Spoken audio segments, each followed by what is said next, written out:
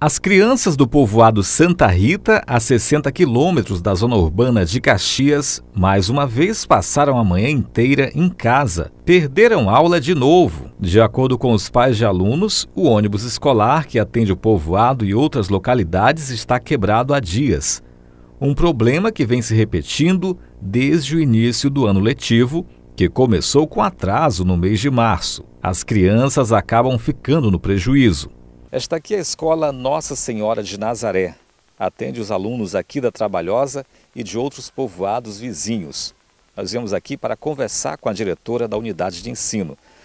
O vigilante informou que ela não se encontrava, pois teria ido até a Secretaria de Educação buscando resolver o problema do ônibus escolar que está quebrado. A escola Nossa Senhora de Nazaré também recebe alunos de povoados distantes até 15 quilômetros. Sem transporte escolar funcionando, é praticamente impossível frequentar as aulas. Não tem transporte escolar. Se vem um de manhã, de tarde já não vem. Vem, deixa eu ver. Onde estava com nove dias que ele tinha vindo. Veio só de manhã, quando deu dez horas, deixar de tarde, já não veio pegar o da tarde. A senhora acha que dá para aprender alguma coisa assim? É difícil, aprender é difícil. Né? Mais que a criança tenha vontade, mas fica difícil. Fica difícil. Como é que vai para a escola?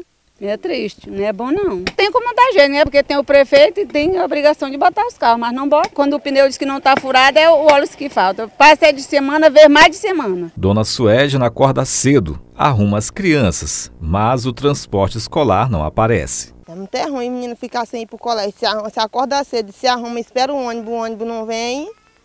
Desse jeito é ruim.